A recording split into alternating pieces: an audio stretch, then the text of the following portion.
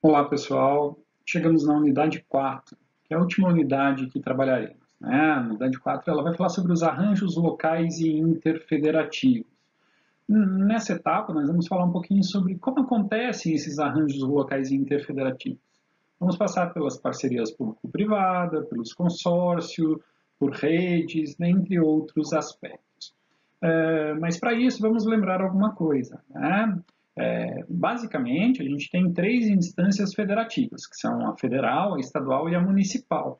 É, e as relações que podem ocorrer nessa, nessas instâncias, seja ela local ou interfederativamente, elas permitem conectar parceiros, desenvolver estratégias para auxílio mútuo, que, uh, fatores esses que tendem a propiciar o desenvolvimento da competência entre todo mundo que se relaciona, né, para que cresçam em conjuntos, para que tragam algumas vantagens é, para todos no decorrer das atividades. É sobre isso que nós vamos conversar nessa unidade.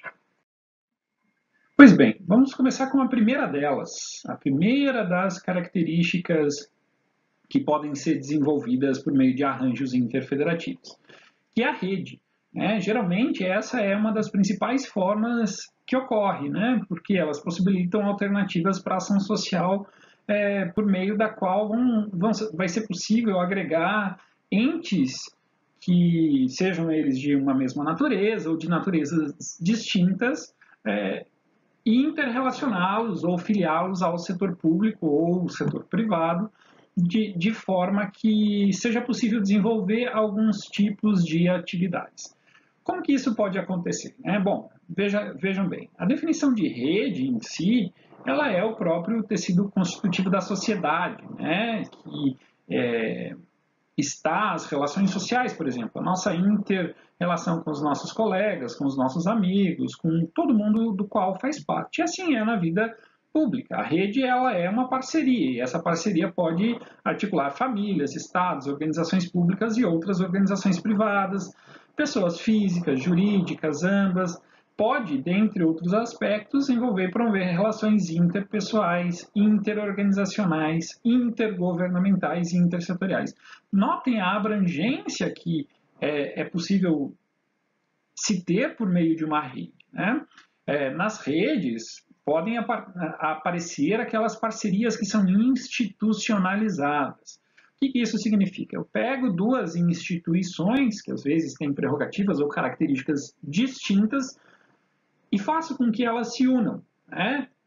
Então, às vezes, não desenvolvendo uma nova personalidade jurídica, com direitos e obrigações próprias, mas que atuem ou interatuem para o desenvolvimento mútuo. Isso significa o quê? É que é, essas redes elas podem variar ou podem ser classificadas de diferentes formas, é, de acordo com múltiplos critérios, como os atores envolvidos, por exemplo, questões de horizontalidade ou verticalidade, é, a forma ou, ou a informalidade que acontece, dentre outros aspectos. Como vocês já devem ter observado, é, lá na nossa disciplina, a gente trouxe três tipos principais de redes. Né? É, quais seriam essas redes e por que, que elas são é, importantes de serem pensadas? É, notem, em primeiro lugar aqui a gente tem a rede subordinada. O que é uma rede subordinada? São aqueles entes que fazem parte de uma organização, de algum sistema específico, em que há uma interdependência de objetivos. É, notem, os entes são partes de um sistema, eles demonstra uma certa interdependência, a articulação depende da vontade entre eles e há apenas um locus de controle. Um exemplo desse tipo de rede, né? um exemplo desse tipo de rede ele pode ser visto em redes de serviços públicos, por exemplo, né? naquelas que o objetivo está em fornecer serviços às pessoas, como o SUS, né? o Sistema Único de Saúde, ele vai possibilitar o acesso direto ao atendimento da saúde, é, para todos os entes ou para toda a população. Ou também a gente pode considerar o Sistema Nacional de Transporte, que é aquele que vai prover a infraestrutura para o desenvolvimento é, do transporte à população. Uh, a gente tem também, por outro lado, as redes tuteladas. O que seriam essas redes tuteladas? São aquelas redes que têm uma certa autonomia, mas se articulam sobre uma organização em si, uma organização responsável por isso tudo. A rede ela vai ficar dependente da persistência de propósitos daqueles que se relacionam. Né? Ela precisa surgir por algum motivo.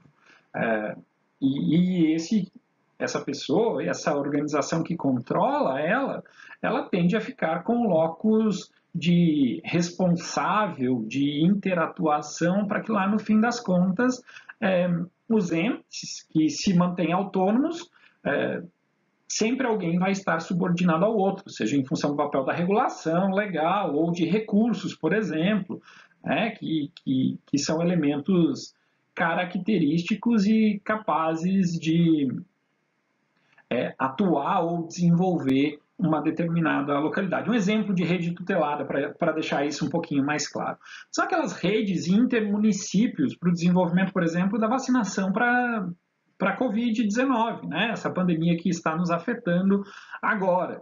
Então, as, os municípios eles se unem em rede e estabelecem meios ou mecanismos é, que por um lado tem um ente mobilizador, né? o exemplo que eu trouxe para vocês está lá no papel assumido pelo governo de São Paulo, por exemplo, né?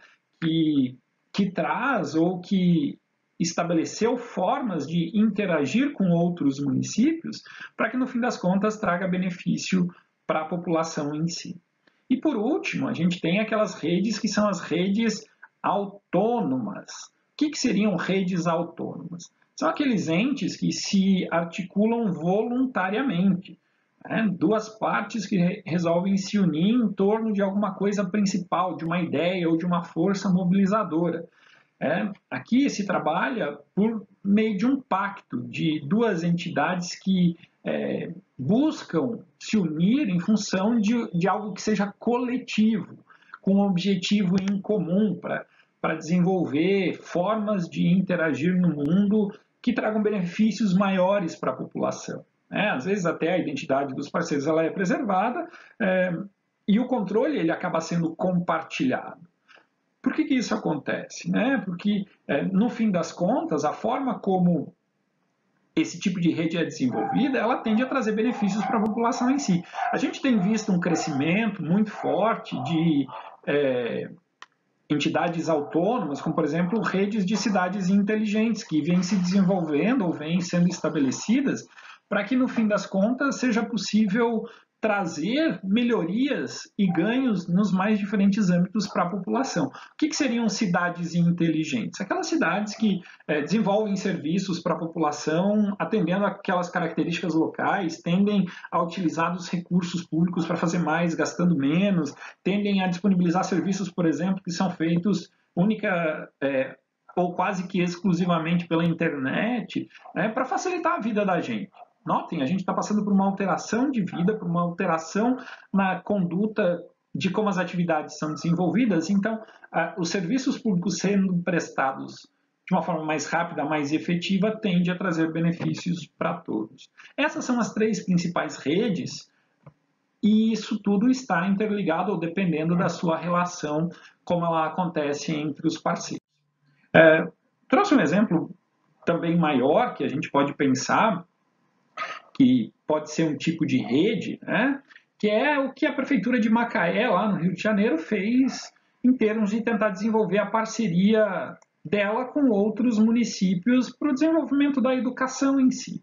Né? O que, que essa prefeitura fez? Na verdade, ela tem um programa chamado Vida em Rede, que tenta desenvolver a parceria com instituições públicas, ampliando as ações do município em si é, em que, nesse caso, por exemplo, foi realizado um encontro entre educadores da rede municipal é, de Macaé com, com de uma outra cidade vizinha, é, e o intuito foi trazer experiências da vida de todo mundo para que eles pudessem pensar e se reinventar em termos de trabalho com seus alunos.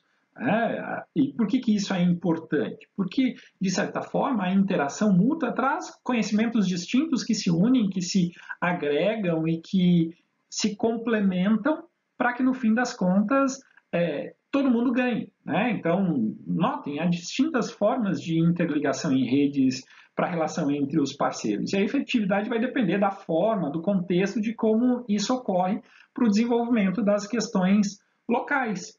Né? Notem, isso é, são, são duas redes ou são duas prefeituras interligadas em rede, para que no fim das contas todo mundo saia ganhando e tente trazer um benefício, tente é, disponibilizar algo melhor para a população. É, dito isso, a gente consegue observar que há algumas características para o desenvolvimento de redes. É, há quatro argumentos principais que auxiliam na explicação de como esses arranjos em rede é, devem existir ou coexistir no, no ambiente. O primeiro deles diz respeito à eficiência coletiva. O que isso significa? A eficiência coletiva ela retrata que as redes representam uma forma ou uma maneira de se obter acesso a diferentes recursos mediante um processo de compartilhamento. Né? Todo mundo sai ganhando, né? todo mundo aprende, é, de certa forma, que pode ser bom para nós. Eu compartilho aquilo que eu tenho, você compartilha aquilo que você tem, e no fim das contas nós dois saímos ganhando. Não à toa leva a um aprendizado coletivo. Né? O aprendizado coletivo ele é, surge da rede, ou ele é propiciado pela rede, a partir do momento que elas representam uma maneira de obter acesso a diferentes recursos e, ao mesmo tempo, é, há um processo de de inter-relação mútua e que todo mundo aprende em conjunto. Né? Por meio do qual os parceiros vão trocar experiências, por exemplo, como no exemplo que a gente comentou anteriormente, é, é, surgem meios ou formas de agir que vão desafiar os modelos e as práticas já existentes, trazendo algumas noções ou algumas ideias que vão apoiar a relação conjunta. Né? Por que, que isso é importante? Porque até leva a uma terceira característica, que é o enfrentamento coletivo. A gente se une para que, no fim das contas, ou para que todo mundo saia ganhando. Né? Então, é, é possível correr riscos maiores do que aquilo que existe, porque lá na frente a gente vai ter um auxílio mútuo nesse enfrentamento. Vai ter o meu parceiro com, com diferentes é, características, com diferentes conhecimentos, que vão se ligar ao meu, a gente vai interrelacionar diferentes conhecimentos para que todo mundo ganhe, para que seja construído é, uma interrelação ou para que é, haja uma forma de interação conjunta que traz diferentes conhecimentos para que lá no fim das contas todo mundo saia ganhando. O que, é o sair ganhando? É a gente conseguir participar, desenvolver experiências, trazer novos estímulos, é, é interligar-se entre ambos para que todo mundo ganhe.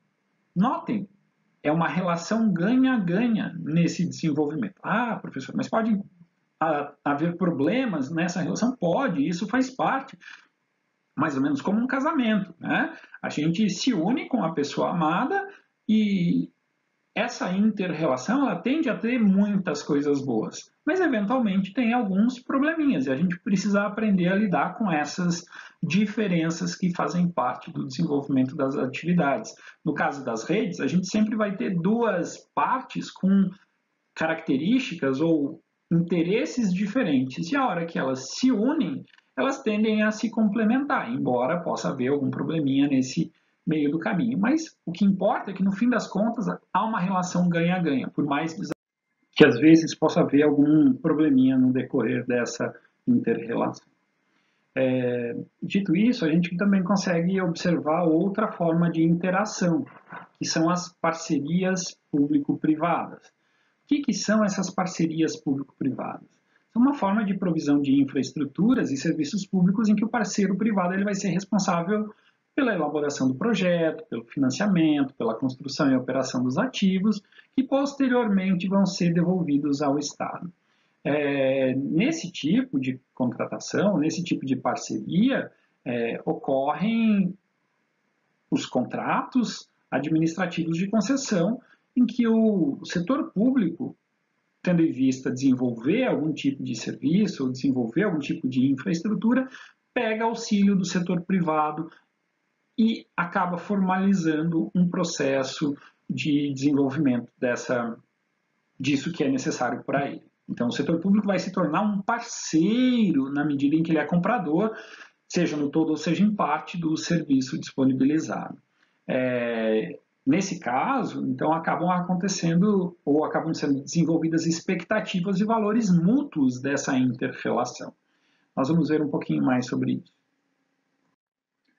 É, aqui a gente tem alguns aspectos das parcerias público-privadas. Estão lá na Lei 11.079 de 2004, no seu artigo 4 né? A ideia das parcerias público-privadas é que é, haja uma maior eficiência no cumprimento das missões do Estado e no emprego de recursos da sociedade, que se tenha o respeito aos interesses e direitos dos destinatários dos serviços, que uma vez sendo prestado aquela atividade pelo parceiro, ela tem que ser feita por ele, né? tem que ter uma responsabilidade fiscal na celebração dos recursos, tem que se ter transparência dos procedimentos de decisões, tem que ter uma repartição de riscos entre as partes, tem que ter uma sustentabilidade financeira e vantagens econômicas para os projetos de parceria.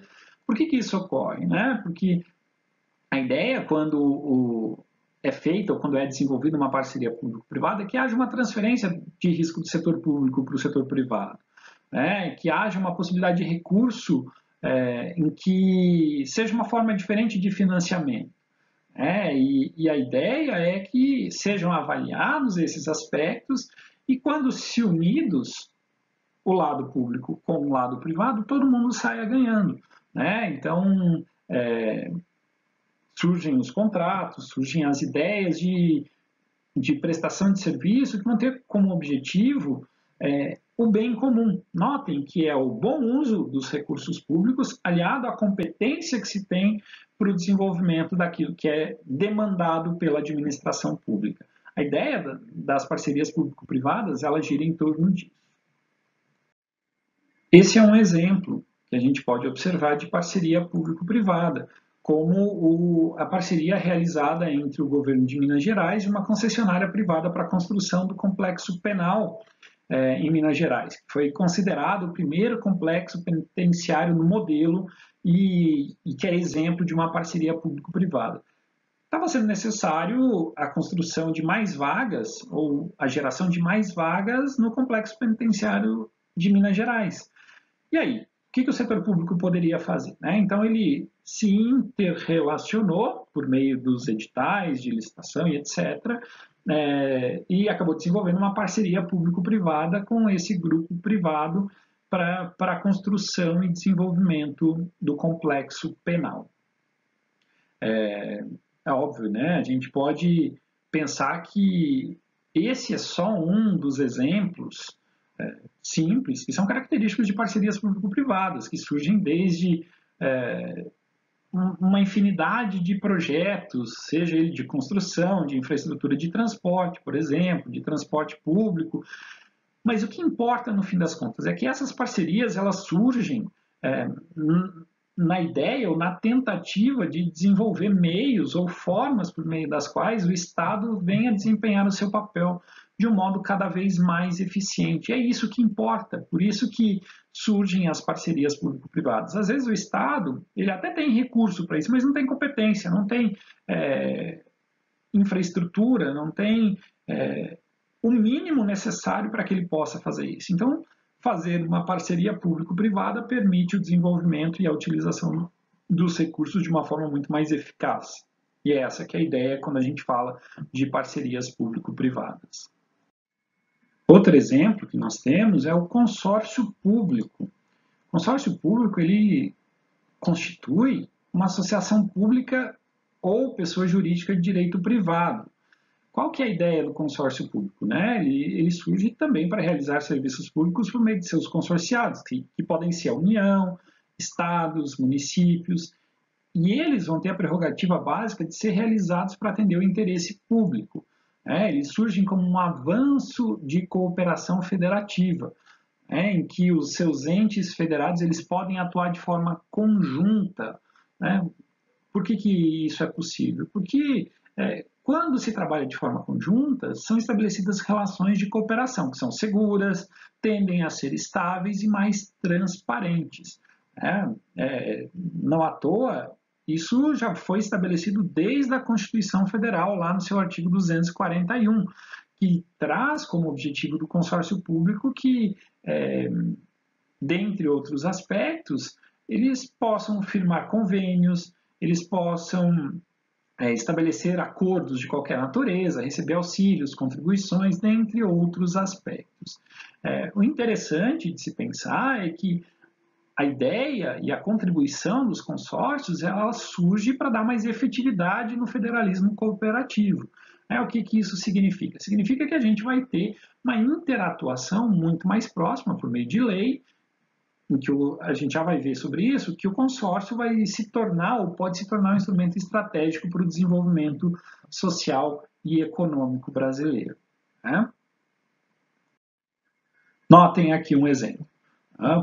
Por exemplo, ó, a prefeitura, prefeitura de Guarapuava, ela sancionou, o prefeito de Guarapuava sanciona uma lei que autoriza a adesão ao consórcio para compras de vacina. É, o que isso significou? É que é, a compra de vacina ela é uma forma de é, interrelação entre os vários municípios que estão precisando disso para imunizar a sua população e por meio da qual uma relação ganha-ganha para todos. Todos se unem porque, uma vez unidos, eles tendem a conseguir comprar mais vacinas por um preço muito menor. É, não à toa, o prefeito de Guarapuava, ou o atual prefeito de Guarapuava, sancionou essa, essa lei que vai fazer com que, ou fez já no caso, né, com que o município ingressasse no, num consórcio nacional que visa, ó, como a própria reportagem traz aqui, ó, facilitar a compra de insumos, medicamentos e equipamentos. Por que, que isso é importante? Porque ganha-se força né, ganha-se força em entender que os consórcios eles auxiliam no desenvolvimento da população. Cada um é, é óbvio mantendo seus interesses respectivos, mas visando sempre o interesse comum da população. E ao mesmo tempo que tende a fazer com que a população seja atendida e, e que o uso dos recursos públicos seja otimizado e eficaz. Né? Quanto mais gente unida, Nesse caso, quanto mais municípios unidos, mais forte ele tende a ser ou tendem a ser os resultados alcançados. Pois bem, dito tudo isso, nós conseguimos passar pelos elementos principais que fazem parte dos arranjos interfederativos. Né? A gente passou pela questão das redes, é, os municípios podem se interligar em redes, os municípios podem estabelecer parcerias público-privadas, que são aquelas parcerias em que às vezes a competência do município ela é complementada pelo ente privado e o município acaba sendo um parceiro para obter benefícios lá no fim das contas, ou a gente pode chegar aos consórcios, né, que são aquelas interrelações também que podem ser desenvolvidas ou desempenhadas pelos municípios para que todo mundo saia ganhando, né? Uma força, como a gente pôde observar, feita ali, por exemplo, pela, prefeitura de Guarapuava e outras prefeituras, para conseguir comprar os recursos, materiais e elementos necessários para o combate à Covid, como a gente vem observando. Esses arranjos interfederativos são exemplos de práticas que podem ser desenvolvidas pelas prefeituras ou pelos entes públicos interessados em desenvolver o bem comum da população, que é o objetivo, é o mote principal da nossa disciplina, né? que foi entender como o município ele é desenvolvido e como são realizados esses arranjos interfederativos, que são um grande desafio, mas ao mesmo tempo eles são primordiais para o bom andamento né, e execução das atividades que visem os benefícios da população.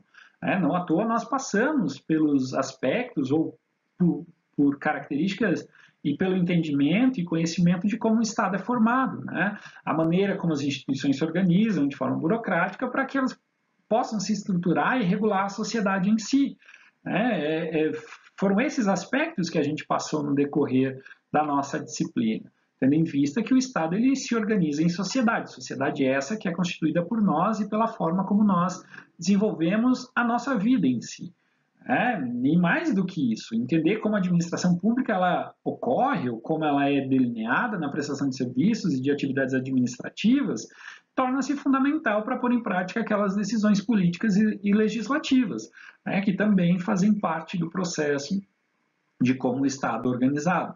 Não à toa a forma como são geridos os bens e interesses nos três níveis, que vocês devem lembrar que nós trabalhamos, né? níveis de governo federal, estadual e municipal, a, a ideia é que cada um deles desenvolva as atividades sempre voltadas para o bem comum, né? considerando aqueles princípios de legalidade, de impessoalidade, de moralidade, de publicidade e de eficiência, que são aquelas condições, é, como a gente pode dizer, ou como a gente diz, sine qua non, aquelas condições sem as quais o governo existiria né, para a administração pública.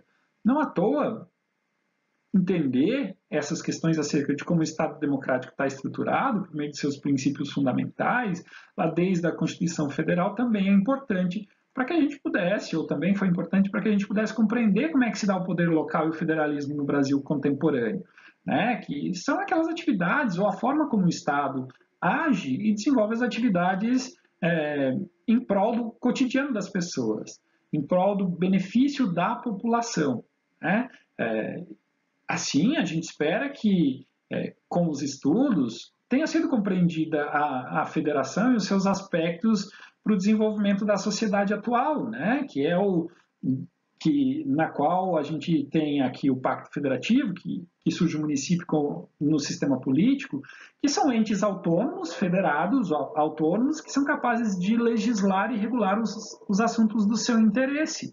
Né? Os municípios fazem parte desse pacto federativo e cada um deles possui algumas características próprias.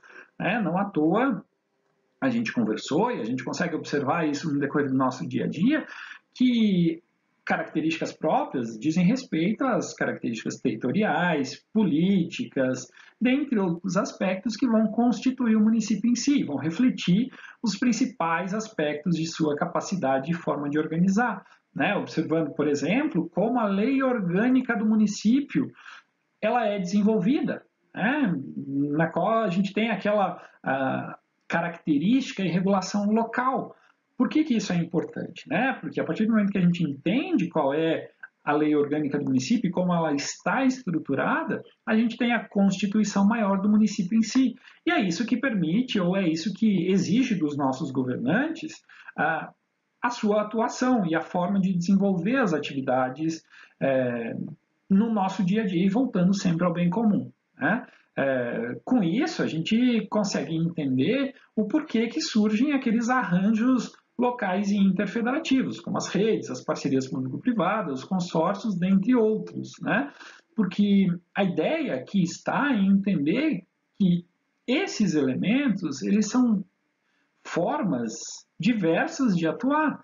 É, e a gente parte do pressuposto de que quando a gente tem uma atuação realizada em conjunta, vão ser gerados benefícios para todo mundo que se relaciona, né? mesmo que se tenha algum tipo de dificuldade ou algum desafio para superar isso tudo.